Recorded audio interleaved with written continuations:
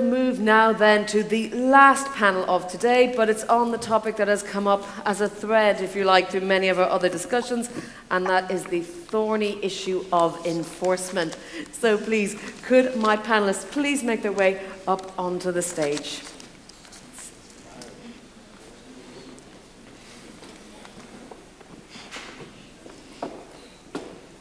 Ladies first.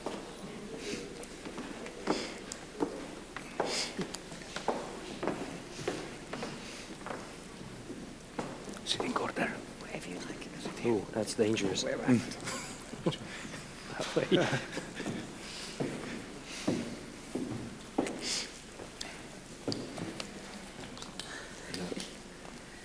So, thank you very much for joining us. for mixing things up a little bit, I'm going to sit and direct my questions at all of you, laser like focus, even though it's late in the day. So, I hope everyone here is shaking themselves up and ready for a good, angry argument about enforcement and why it works and when it doesn't.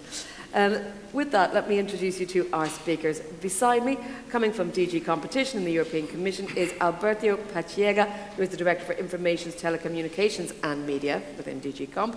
Um, then we have, of course, Ursula who's the Director, Depu Deputy Director General of BEUC. Thank you very much. Next, we have Alexandre de Streel, Professor at Namur University, Academic Director at CERRE, and Chair of the EU Expert Group on the Platform Economy. Uh, then Dries Cuijpers is coordinator for the digital economy for the consumer division of the Authority for Consumers and Markets in the Netherlands. It's quite a mouthful, thank you very much. And last but not least, joining us from the European Data Protection Board, we have Deputy Chair Ventsislav Karadjov. Alberto, I'm going to start with you. Um, what are your thoughts on the challenges in digital markets, in particular in effective enforcement? It's a very different world to the offline world. So tell me a bit how you view it, how the Commission views it. There have been some lessons learned, I think, or not learned in recent years from the GDPR. Tell us a bit about what you see going forward. Okay. Thank you very much. I will talk um, mostly about what um, relates to my job, which is uh, competition enforcement. And um, so the first question is perhaps, are digital markets completely different from the other sectors of the economy when it comes to ensuring fair competition? And the answer is yes and no. Um, no, because the phenomena we see in digital markets are not unknown to us. Yes, because the scale of these phenomena are unprecedented. And I'd like to mention three very quickly.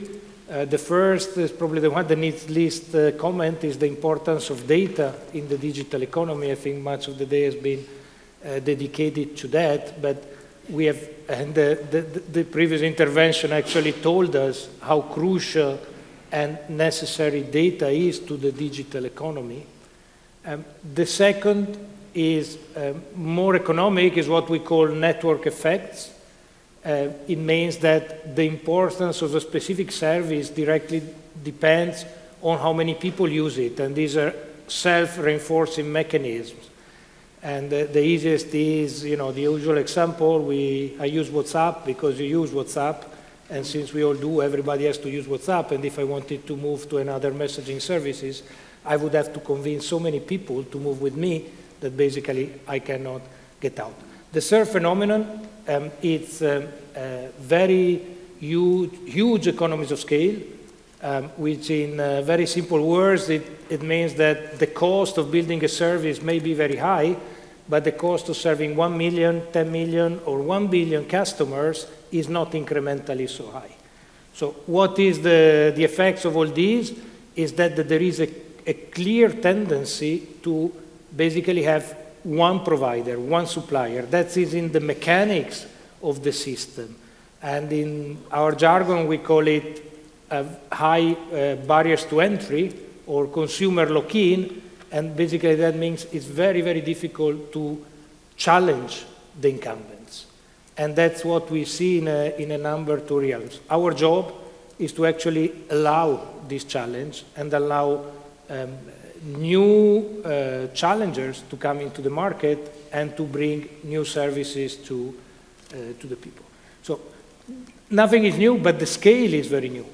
And, and that is why even though the European Commission has been at the forefront of intervention into the digital markets, um, uh, taking antitrust cases for the last 20 years when there was very, very little acceptance around the world that this was necessary, um, still we face in a situation that um, the usual um, way of enforcement, which is to look at what's happening in the market, see somebody is deviating from fair competition, assessing the situation, sanctioning the companies and changing the course has proved no longer, uh, is no longer sufficient. Because um, it, it's still a very powerful instrument, but it's um, most powerful against individual misbehavior. And here we have a systemic issue. And that is the very reason why the, um, Europe has, uh, has given itself the Digital Markets Act that was also uh, just mentioned. What is behind the Digital, Digital Market, uh, Markets Act? Simply the recognition that it's not a matter of sanctioning individual misbehavior, but it's a matter of reshaping the structure of the market. So we, we cannot only do post, ex post intervention, that we will still do, but we need ex ante regulation. Again, this is very new for the sector. It's not new for the economy. There is plenty of regulated sectors. Electricity, telecoms have undergone the same. Finance is regulated. Uh, uh, medicines are heavily regulated. So it's nothing new, but it's a, it's a real earthquake for the digital sector. Again, um, we are the first in the world to this scale. It's a huge challenge. And, uh, but you know, we are gearing up for it. The Digital Markets Act will enter into, um, into force soon. Uh, very soon it will actually enter into force. It will start biting uh, next year. So we hope that as of, let's say, 2024, uh, we will all see the practical um, effects of the Digital Markets Act, and that will be things like you being able to choose uh, which app store you want to use on your telephone. Now, I guess you don't, you don't have a lot of choice. Um, not having um, digital giants pushing their own services, leveraging the power they have just to push their own services and actually shutting out uh, possible challengers, or um, um a more um, fair um, use of the data. I mean, we, personal data is not really our, uh, there will be very qualified speakers to that, but the huge amount of data that the digital gatekeepers uh, gather not only from individuals, but also from other, other businesses. And there are businesses that, that have no alternative than going through the gatekeepers, because that's basically the only way to reach consumers. And it's fair that they also, uh, first of all, have the possibility to access their own data, which is not always the case, and also have the possibility to exploit. It. So I, it's a real change in, uh, in approach, and is a change I hope um, will be very visible very soon. Well, that's the DMA covered. Now, Dries, do we need a completely new enforcement architecture in Europe? yes, thank you very much, Jennifer. And I think I alluded to it before. I'm a civil servant, and I think civil servants rarely advocate revolutions in this world, so um, I won't be any different from that perspective. But um, yeah, maybe, maybe to answer your question more in depth. Um, and before I do so, I actually also want to say I'm going to address some challenges that we face as consumer enforcement agencies. and I think I can speak not just for the ACM in the Netherlands, but also for some others. Um, it may actually appear that you know enforcement is in a pretty dire state if you listen to me, uh, which I don't think is the case. Um, I just want to make that clear beforehand. Um, I think we, we actually are achieving um, uh, pretty well. Uh, and of course, there is things that we can improve specifically in relation to the developments that we see in digital markets. So that's really what I would like to address. And there's basically four points um, that I want to briefly look at. Um, the first one is that within this new area, with, well, new, relatively new area, we really need um, multidisciplinary enforcement. So we used to work a lot with lawyers. We used to have a fair amount of people that understand economics, but we absolutely need people that um, understand the technology and also understand, or the psychologists that understand the human behavior that's involved. And I know that this is something which is being worked on in different, uh, many different agencies at the moment, including ours. So we do have a, a, BI team. We do have what we call a data hub, which is a, a group of specialists and people that are specialized in data processing. Um, but I know this is um, relatively difficult in smaller agencies. So this is something to absolutely bear in mind. Additionally, and I think this was already alluded to by, by some previous speakers as well, is, you know, these, especially big tech has a lot of budget for R&D. Um, the innovations that we are confronted with um, are happening at a very high rate. And they're very often characteristic by, by complexity. Um, we're confronted with issues like A-B testing, AIs, we've spoken about that today, but for example, NFTs, loot boxes, developments in relations to, to AR and VR, in-app currencies, and the list is long. Um, and this requires a lot of quick understanding of what's happening. So this is a continuous challenge. I think it has always been a challenge to enforcement, um, is to keep up with the developments. Well, we'll never be, you know, in front of them, uh, will always be lagging a little bit behind, which I don't think is a problem as soon as the gap doesn't become too big. And lastly, I think we're also struggling, of course, because to get this expertise, we need to find people on the labor market. And there is a lot of parties out there that pay a lot more than most governments do. So uh, I think that's an additional challenge.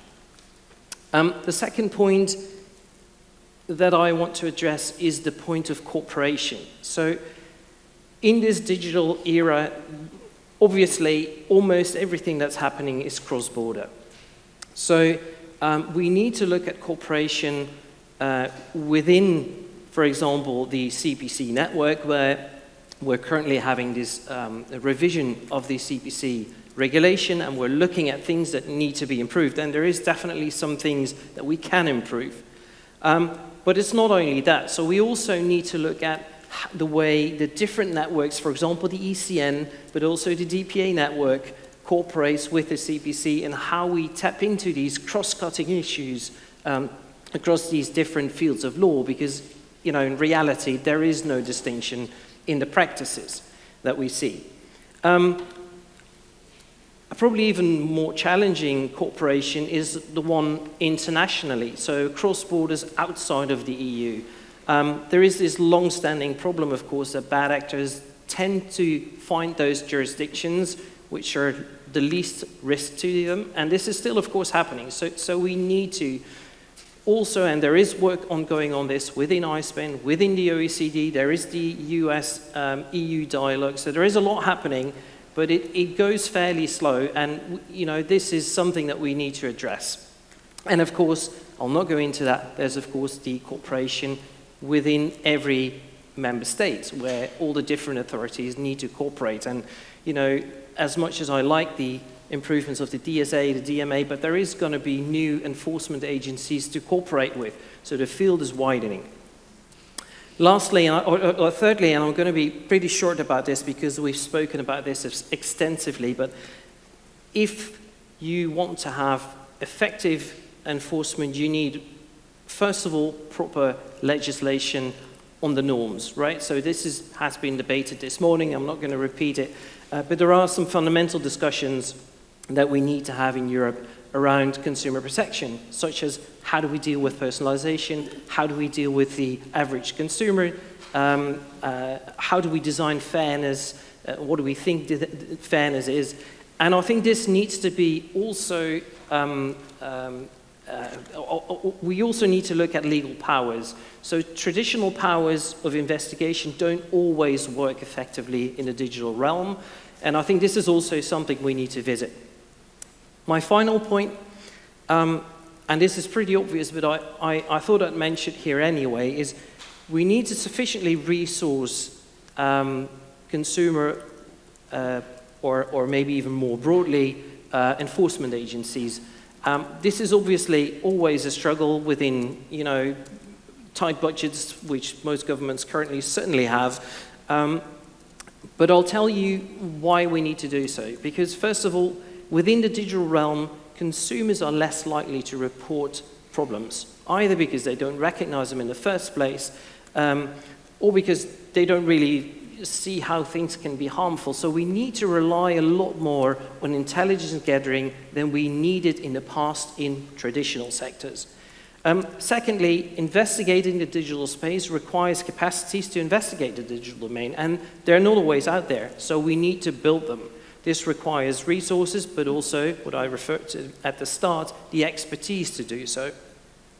Um, I'm very happy for that example, for example, that the EU has built this e-lab capacity. I'm not sure if you're aware of it, but it's a lab, a digital lab, um, which requires the tooling for all the European enforcement agencies to do investigations in the digital domain. So that's very important. I think we also need to bear in mind that, you know, market incentives, and I think um, Emeritus Professor Zuboff's presentation really went into that. There, the market, the digital market, has little incentive to comply, in, or maybe put it differently, the focus is definitely on the optimization of conversion. And we have been speaking to the digital uh, actors in the Netherlands over the last few years, and it, it turned out, and it appears, that generally their knowledge of consumer uh, legislation is rather low.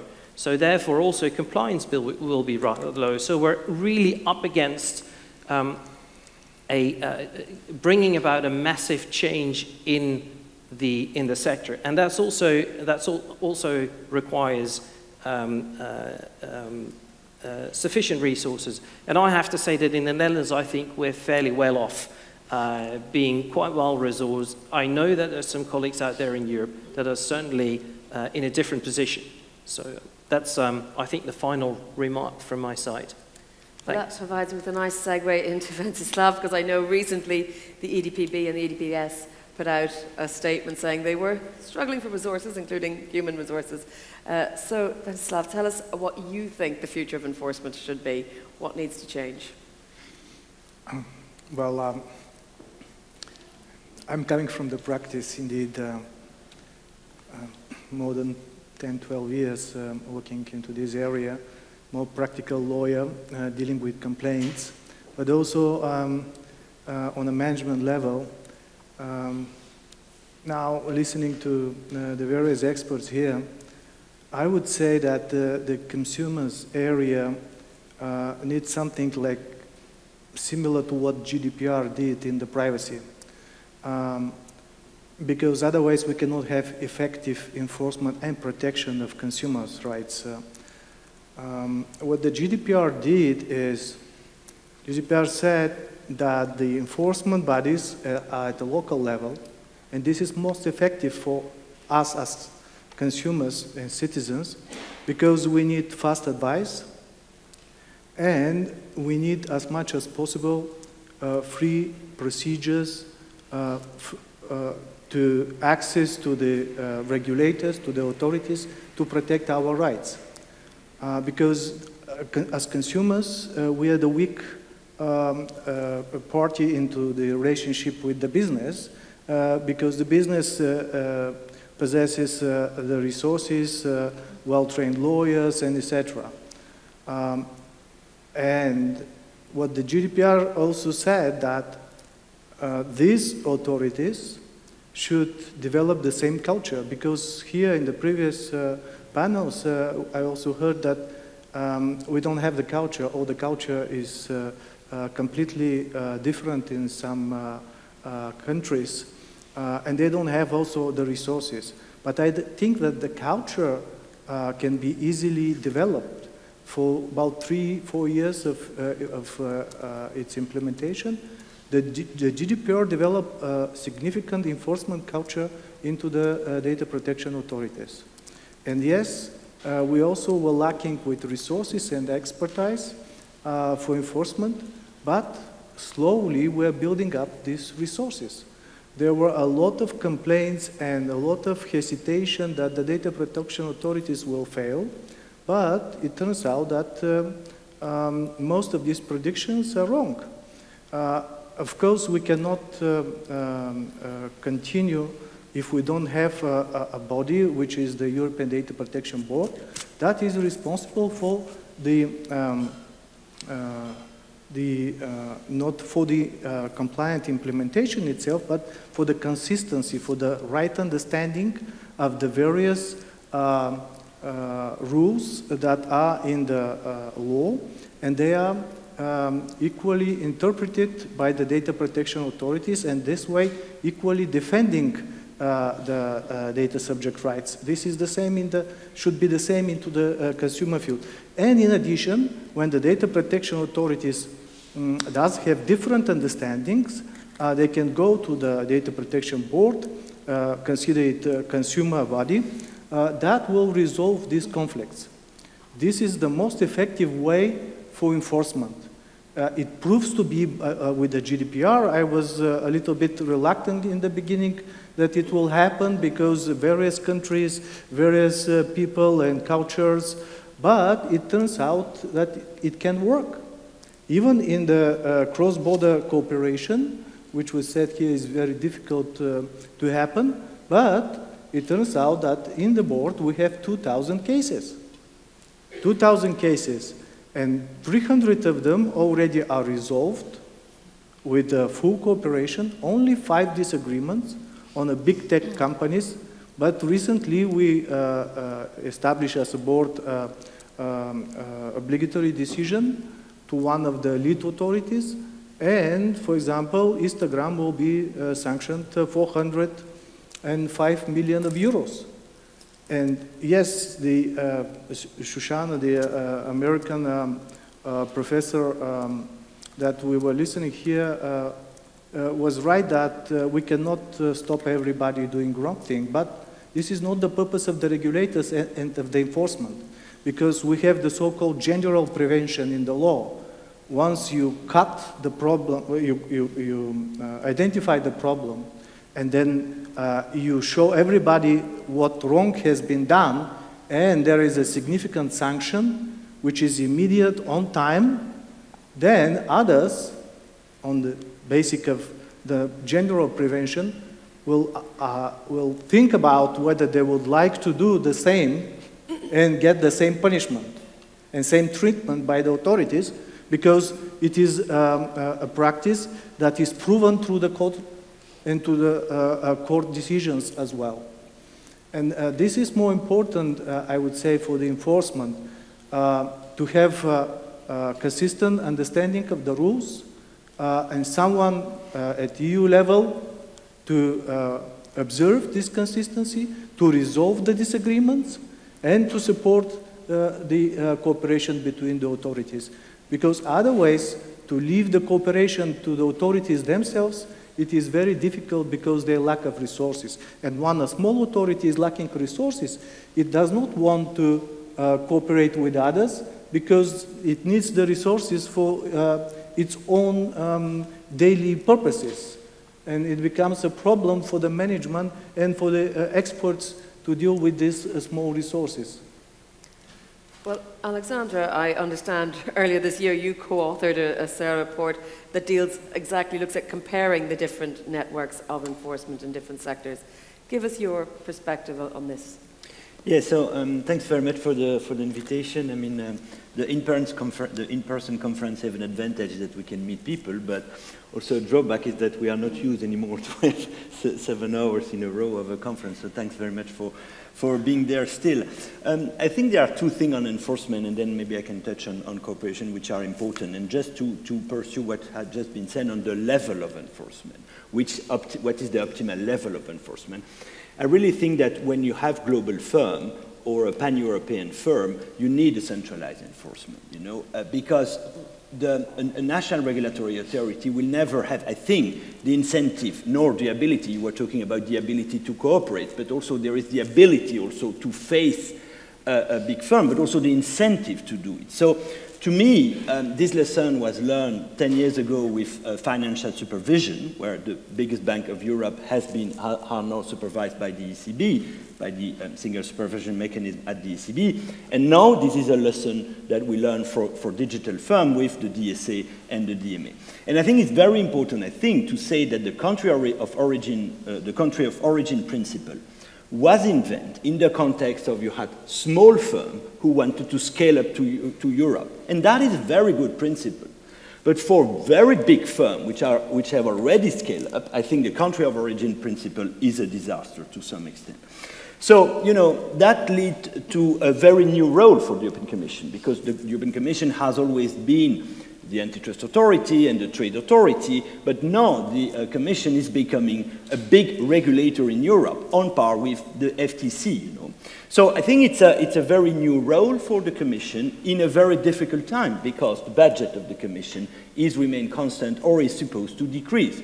So, you know, we have this paradox that uh, you know, we ask more and more to the Commission to do, and we have seen that also in the vaccine and everything, but no more, uh, no, no, not necessarily more budget. So there is a big issue there that uh, uh needs to be solved, and uh, uh, the, vice, the, executive vice president was mentioning that to the great question of Augustine.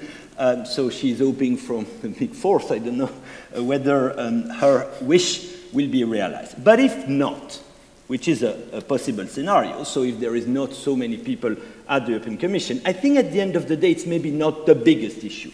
So I've read the, the book letters and so on, but to me, what is very important is the mode of enforcement, more than the number of staff. And uh, there, I think what is very important is that the Commission is open, and I think the Commission will be open, but the test will be the procedural regulation that uh, the Commission should adopt um, uh, as the first legal document uh, after the entry into force of the DMA, the procedural regulation, how far the European Commission is ready to partner with everyone uh, to ensure uh, the, um, the enforcement of the DMA and the DSA. And in a way, you know, there, I think the Commission can learn a lot from the platform themselves, which, you know, some characterize the platform as an inverted firm, you know, where you ask, in fact, your user to do your job uh, and uh, they just collect the money. Um, the, in this case, I think the European Commission could also be a kind of inverted agency, you know, where uh, um, the Commission partner with the regulated firm, the user and the civil society, and BEUC will probably uh, play a key role there, and the national authority uh, to, uh, to do its job. So how? Because you could say, ah, yes, partner with a regulated firm, this is the receipt for capture. So of course we have to be careful about regulatory capture, but there are some in the DSA and in the DMA around compliance officer, compliance report, uh, risk assessment, protection of whistleblower. So all those um, instruments are their thing, are the best allies of the Commission within the firm. And so they have to really be taken seriously and in a way, in the process and in the procedures that the Commission will implement, uh, take very seriously. User and um, business user end user, consumer and civil society will play a key role. That means that they need to have the right information. So I take the, a, a, short example. The uh, gatekeeper will have to produce a compliance report explaining how they comply with the DMA, very, very good. But, and then they have to produce a summary a non-confidential summary of this compliance report. No, I mean, if this summary is two pages, it will be completely useless for the, uh, for the business user or for the civil society. So it's very important that this summary is meaningful and can be used uh, by, uh, the, um, by the user to help the Commission to do its job. And finally, the national authority. So we have a representative of a, an extremely good national authority. Those people have some comparative advantage compared to the Commission. You know, they are closer to the field. In some case, they are more agile.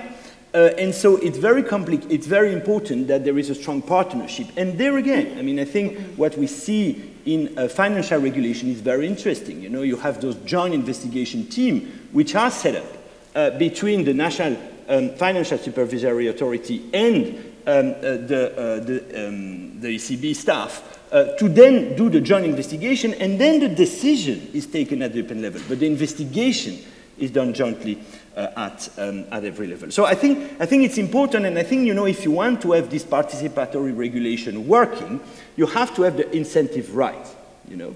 So that means that um, the process that the Commission will set uh, in, in, motion should um, increase the benefit uh, of um, the benefit of cooperation and should also uh, increase the cost of obstruction. So that means what? It means that if a company is really, um, you know, cooperative, the Commission should be ready to listen to them. If the company is really obstructive, very soon, I think the Commission should move to a kind of a non-compliance decision and escalate the process. You know, so I really think that uh, the incentive in the process should be uh, should be right. No, and finally, in terms of cooperation, I think uh, um, most of the report uh, concluded, as you as you were saying, that cooperation is extremely important. Cooperation uh, among different authorities within the same country, and, and here I think um, the Netherlands have uh, uh, uh, launched a very interesting experience with this network of, um, of authority.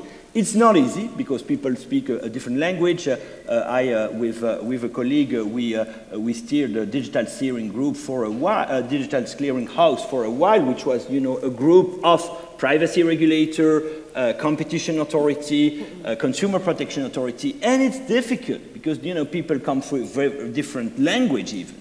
Um, so it's difficult to do at the, at the national level. It will be even more complicated to do at the European level uh, because uh, then you don't have even the same administrative culture, you don't have the same language. Uh, but, but it will be key, and we have now um, a new um, a new work, work group, if you want, or high-level group in the DMA, which is exactly that, you know, which will regroup um, the network of telecom regulator, the network of antitrust uh, agencies, the network of consumer protection agencies, the network of privacy regulator, and the network of media regulator. So it may become a, a, bureaucratic nightmare, and there is a probability that it's that, but it may also become a very useful um, instrument of cooperation across country and across legal field. Now, again, it will be super complicated. And as you say, I mean, people in agency are not necessarily revolutionary, but this is a kind of revolutionary um, tool, and I, I, really hope that it will work. Now, how? For instance, by um, you know working on some cases. You know, the worst would be you know you have those kind of big talk and you know you talk generalities and then nothing happen. But um, it, it's very important that this DMA high-level group has a lot of potential uh, but it needs to be it needs to be steered well. And so, really, I hope the Commission uh, um, will be able to steer this process uh, in a way which, given the, the, the, the, constraint of the resource that the Commission have, still can deliver. Um, because you know, we I mean, nobody can miss this this enforcement. You know, this is the thing. I mean, we cannot we cannot uh, be wrong on that. The challenge, as it has been said, are very high, and so I really hope it will work. But you know, let's have a conference in three years and, and discuss. We say that every two years. Yes, I know, I know. Ursula, there's a lot for you to react to there, um, so I will let you take it in your own order. Well, thank you very much, and, and thank you for these very detailed and, and, interesting insights from the different sectors. So I would like to start at a very basic level, uh, and maybe with the question, why did we uh, put a panel together to discuss enforcement, right? And you heard Professor Zuboff saying uh, that she's optimistic about the future because there are so many new discussions all the time popping up. Uh, discussions that we would not have imagined three years ago. And actually, this discussion about enforcement, about the future of enforcement, it is a discussion, and you have heard the Vice President in the morning, it is a discussion about people it is a discussion about the consumer protection on the ground. It is a discussion about the high level of consumer protection that the European institutions are obliged to provide to European people. But I would dare to say that particularly, or maybe let's talk only about the digital world, we do not have currently a high level of protection. You have heard all the concerns regarding the surveillance, the commercial surveillance in which we live, and that is only going to increase and to exacerbate if we do not finally act against this. And so this is why we wanted to have this discussion to see how we can make the laws deliver on the ground. We see a lot of new enforcement structures currently coming out of the digital regulations. What I think we would push uh, for and what we, if I can say, BEUC would maybe like to see on the wish list for the 30th anniversary of the single market, which we will celebrate on 1st of January 2023, is to have a new approach to enforcement and to put it on the table as a big discussion to say what architectures do we have, what governance structures do we have, how they, they um, uh, relate to a single market single market is 30 years old, but our enforcement structures are still dominated by, of course, the national uh, enforcement regimes, and it is the competence mainly of the member states. But is that fit for the current situation and for the challenges that we, we see? So I think this is really the reason why we wanted to have this discussion. And um, I'm also still very grateful for the EDPS because they started this discussion about enforcement in the digital world in June with a huge conference. And this is, of course, not comparable, this little panel that we have here, but the topic is consumer protection and the enforcement that is necessary. And I know, I see the European Commission is, of course, also um, uh, here, not only DG Comp, but also DG Justice in the audience. The consumer agenda uh, from 2020 has as a priority enforcement. Uh, and there is a very interesting enforcement package coming up, hopefully, next year. Uh, but of course, it is not only about consumer authorities because this is also about GDPR enforcement that is at the very center of protecting consumers when it comes to commercial surveillance. It's also about competition enforcement. It's also about all these new structures that we are currently creating, which is the Digital Services Act, the DMA that you talked about. It's about the Future AI Act. It's about the Data Act. It's about everything. We do not have this discussion about how does the big picture look. So I would like to see in the next European Commission a unit, a directorate, a DG dedicated to looking at the different enforcement elements. And four years ago, I would not have thought that we would have a DSA that gives exclusive powers to the European Commission to enforce the DSA against the very big online platforms. But it has happened very quickly. But I think we have not yet discussed enough what is the next step and what are the next questions. So in terms of questions, and I think Dries in particular raised uh, a few of the challenges that I would like to mention. So we have this question about centralization of enforcement. What are the cases, what are the scenarios, what are the laws where we need to give more powers to who?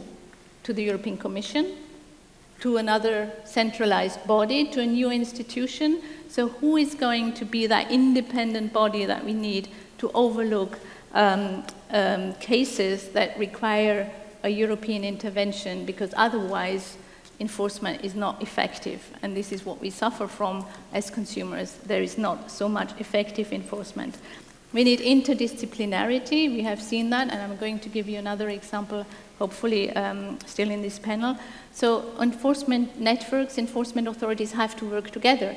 Everything is related in the data economy to data processing, a lot at least, personal data, and everything comes with a competition angle. So these networks need to work together. And most importantly, of course, now increasingly the funding aspects. If we give powers to the Commission and the Commission doesn't have the money to do the job, this will not look good and it will not do what we all expect it to do. We know that the EDPB has taken on new challenges with looking after strategic cases, but EDPB doesn't have enough budget. EDPS is having increasingly very important tasks, but they do not have enough budget. So we need these institutions to deliver, and we need to, these institutions to end commercial surveillance. We will not be able to do it unless we have the democratically legitimized institutions who can do it. Um, there is a lot of other points uh, to say on that, but I think at the same time we should think about consumer organizations and what they do in private enforcement. And just for those um, who know about the Representative Action Directive, which finally was adopted last year, which would give collective redress powers um, well, two people in the sense of consumer organizations can represent them. The member states are now, in these very weeks, uh, implementing these direct, this directive into national laws, and that will be fundamentally important because there's so much discretion that the member states ha have whether this will be effective or not. So it's really in these weeks that this is happening, and we will see whether private enforcement and consumers Uh, and their organizations can play a major role here too.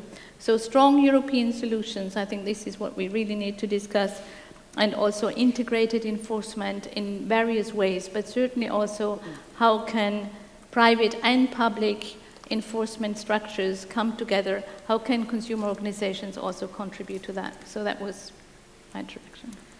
Well, I know it's nearly five o'clock, so I'm going to take the pressure off the audience by not asking you to ask questions. Instead, I'm going to ask you to answer one. Um, a show of hands, I'm sure everyone needs a stretch. Uh, so, Ventsislav mentioned something I thought was interesting, which is about a couple of times you said an enforcement culture or a culture of enforcement. And you seem to imply that the, the DPA's got a boost through the GDPR. So, what I'm interested to know is whether you think, the audience thinks in general, with the raft of new digital laws, I mean DMA, DSA, DGA, Data Act, AI Act, all of these put together could have a energizing or a boosting effect on enforcement culture in Europe, or whether it will be business as usual, lack of resources, lack of human resources, lack of funding. Those who are on the more optimistic side, let's see your hands. And those who see the glass more half empty. Almost 50 50, maybe more pessimism than optimism. So um, that, that, that's, you know, you've split a room here on the panel. So uh, let me, and Alberto, ask you, you know, other than price, we talk about price as, as one of the big distinguishing factors. Um, what are the other effects that we need to be taking into account? Many, and in fact, price in the digital world, much more than in the offline world, is, is not really the principal factor, or not always the principal factor. We know, you know very well how many things we get for free, um, uh, price-wise, from, from the digital world. And I think you, you're all aware that actually they're not for free. And I think the sticker in the package is, uh, is the perfect uh, you know, a simplification of that. There is no such thing of a free app. Uh, so what are the effects? But data, obviously, is the big price with, uh, uh, with which people pay for the services they receive. This is an important dimension that it's quite new uh, for us to consider what, how data matters. It's easy to, to, to, to, to figure out, but what value to give to data is more complicated, I must say, in a competition analysis. Also because we're still grappling, you know, if you ask people, um, is data, is your data privacy important to you? I think the vast majority says yes. But then uh, you ask people, are you happy to click twice and spend uh, half a second actually affirming your right that your data privacy is important? Then people talk with their feet and they are all very annoyed and they tend to agree to all uh, because they just, it just goes faster. So data is a very important element. Then there are other dimensions that are very important for um, assessing the impact on competition and on, uh, on fair competition of, um, of the big tech uh, practices. Choice is very important. Are, are we effectively given a choice? There is a huge rhetoric that we are actually provided with choice as we have never been before. Is it really true when we are actually uh, completely directed towards an ecosystem where uh, there is a lot of internal coherence, a lot of beauty sometimes as well, but effectively we have not really a choice? And we know that it is in their power to to choose what works and what doesn't work within an ecosystem. And another dimension that is probably even more important is innovation. What, what is the impact of certain practices on innovation? Um, we have beautiful products because there has been many people who had beautiful ideas and they were, you know, they were able to put them in practice. Are we still in the same environment? Is a brilliant idea. Can a brilliant today, a brilliant idea, does it have a fair chance to make it to the public and to actually to benefit consumers? There I'm afraid I'm a bit pessimistic in the digital world. When I hear that, you know, we, we shouldn't be tough on acquisition from big tech to potential innovators because that's the only exit strategy that a potential innovator has is to be bought by a big company. That I find really scary because when the potential innovate, when the big tech buys the, um, the clever new gadgets and they put it in their ecosystem, there are another 10 or 20 other innovators that were also trying to get there, and they are dead. The moment that big tech steps in, there is no finance, there is no appetite for those anymore. And, and so, so these are all dimensions that are very, very important to us. Not all are completely new. Um, it's um, the, our analysis of innovation and of choice it's also in the, let's say, in the old style economy. We have done it. We've done it in chemicals, in agro, in the agro business. We have done it a lot in pharma.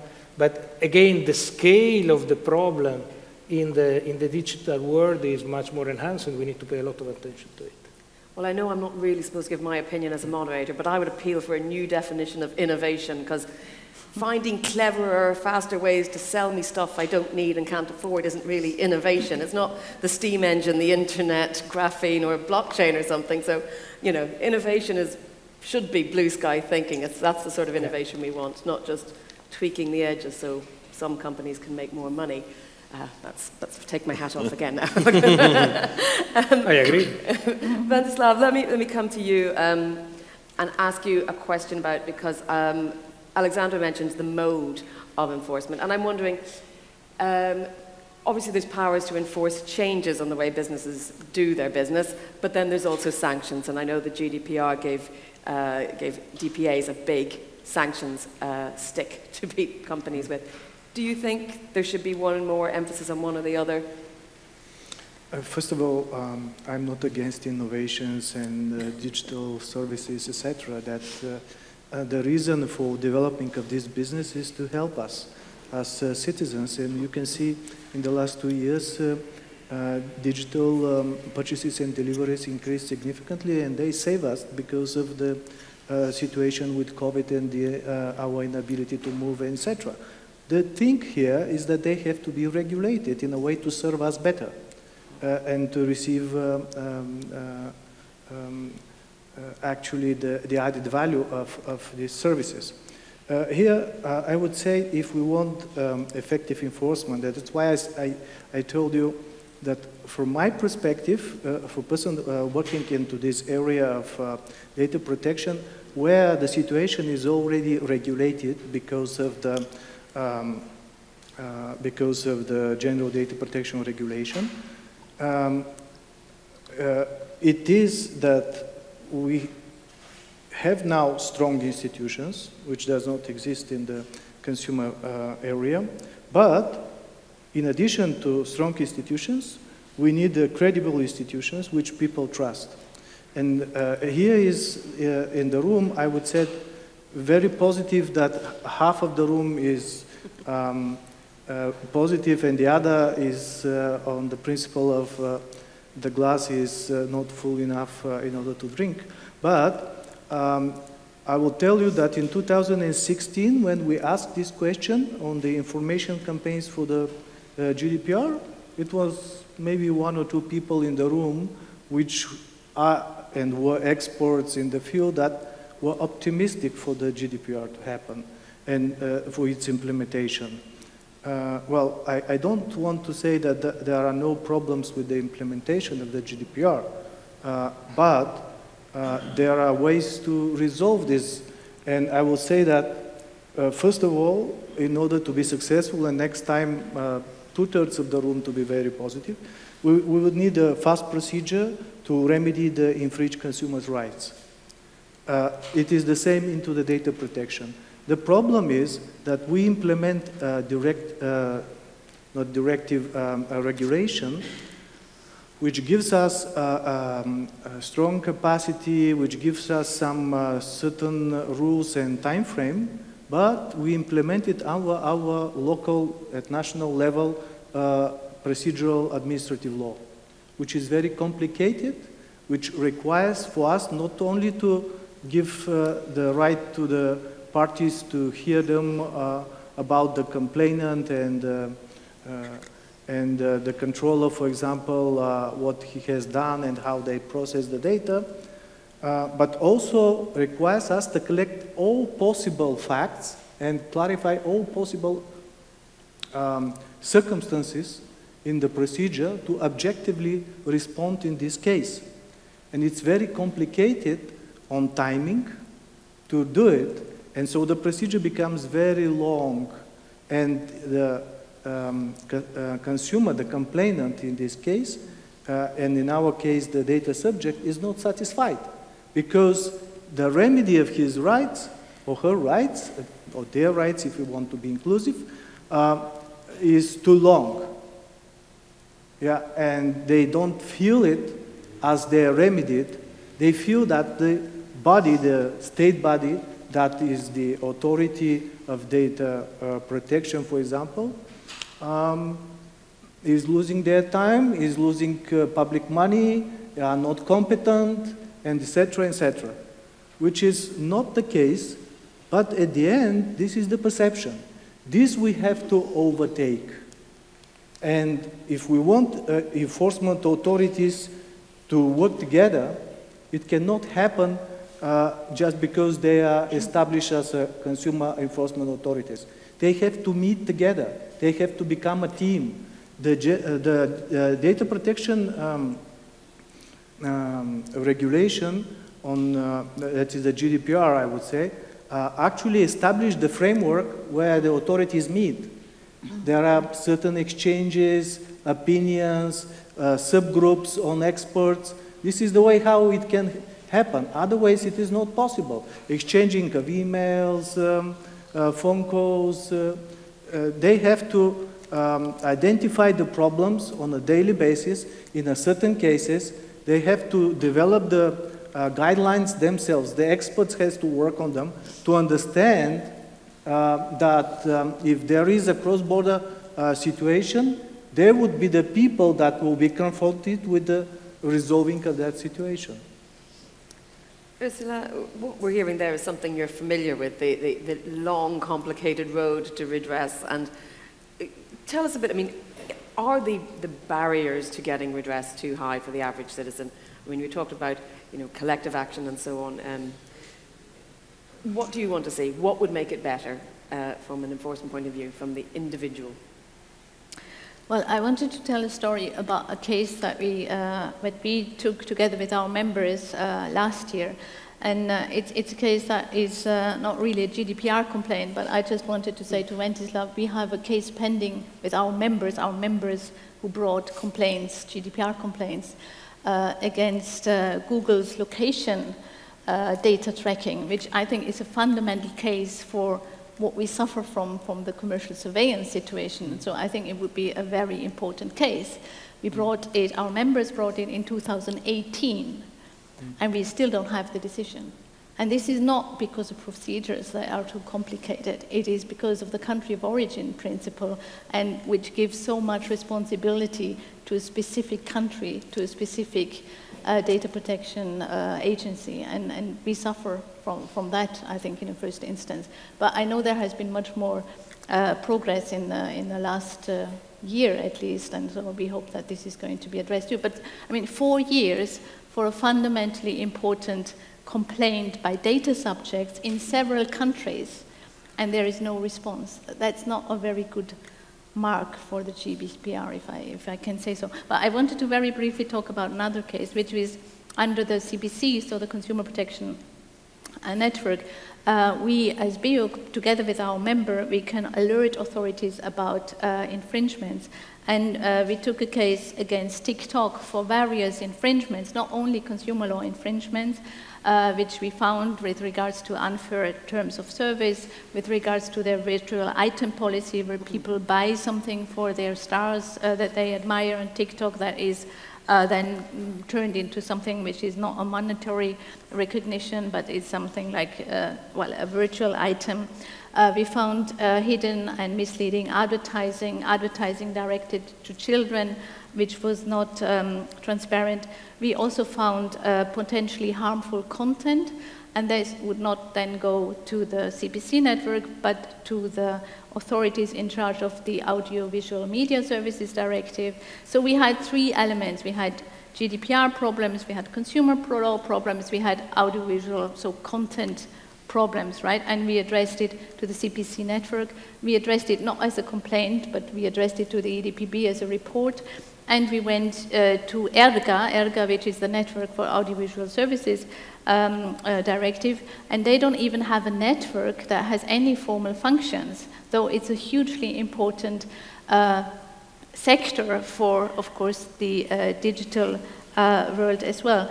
And just to say, one and a half, uh, half years later, the results are as follows. So we have a decision of the CPC, and I have to say the CPC has improved a lot in terms of, has been modernized two years ago, and has, I think, made a lot of progress and a lot of uh, good things happening, but we also see now the limits uh, of that network and that cooperation. This is why it's great that there is um, a new um, uh, package coming up. Um, so we have seen a decision there after one and a half years, uh, which was commitments by TikTok. These commitments are partially good. It's all about transparency in the first instance that is going to be improved so consumers understand what they see on TikTok, if it's advertising or not. But there are also other important points that have not been addressed. Uh, one of the most important uh, points that has not been significantly addressed in terms of solutions is how people give consent uh, to the data processing. And there we are in a borderline between consumer law and data protection law, and there was no cooperation with the EDPB or with the respective data protection authorities, so that is a fundamental problem. Uh, the EDPB responded that they have a task force, that it's the Irish again, because TikTok, of course, is based in Ireland, and that uh, the DPC, the Irish authorities, looking into uh, their own volition inquiry, which may cover some of the concerns that we raised, may cover not. So we are still waiting to see what comes out of that. And then ERGA, the network of audiovisual services um, um, consent authorities, they said, well, it's Ireland because TikTok is based in Ireland, country of origin principle. Then we went to Ireland, and that authority, the broadcasting authority, said, sorry, but we did not implement yet the last revision of the Audiovisual Services Media Directive, which has an obligation on the member states to ensure that content of uh, video platforms must not harm the development of minors, etc., etc. Ireland said, sorry, not implemented. Uh, and by the way, we are not the authority because it's going to be the new authority that is foreseen in the legal draft that is not yet through the parliament. So that was one and a half years ago. So there was nothing we could do. And ERGA said, we will discuss it, but so this is the reality of how consumers are protected in Europe today. And I don't think it is good enough. Uh, I just wanted to give it as an example of what the challenges are. Thank you. Don't say jurisdiction shopping. yeah. um, we're almost at the end of, of, our day, so I'm going to ask just a final question uh, to Alexandre and Dries, which is to identify one action point, if you could wave a magic wand that you would like to see that would create better enforcement or better cooperation between enforcement agencies and, and, and what you would, you know, what you think might be a good lever. Alexandre, I'll let you go first. So, I mean, one thing is we are already on the way is centralization. I, I agree. I mean, these, those examples are very telling, and I think now the legislator have understand, have understood the problem with the DSA. The DMA is very clear. So the question, I think, is uh, how the Commission will be up to this task. And as I said, for me, there is two things which are absolutely key: is that the culture of the Commission change and, and they become a kind of a geek uh, authority. So they understand exactly what is happening, and, and, and, it's very complicated. You know, I think changing law, and this is why I mean all those new law. Uh, at, at your question, I think the real issue is how the culture is changing, you know? uh, not so much the law.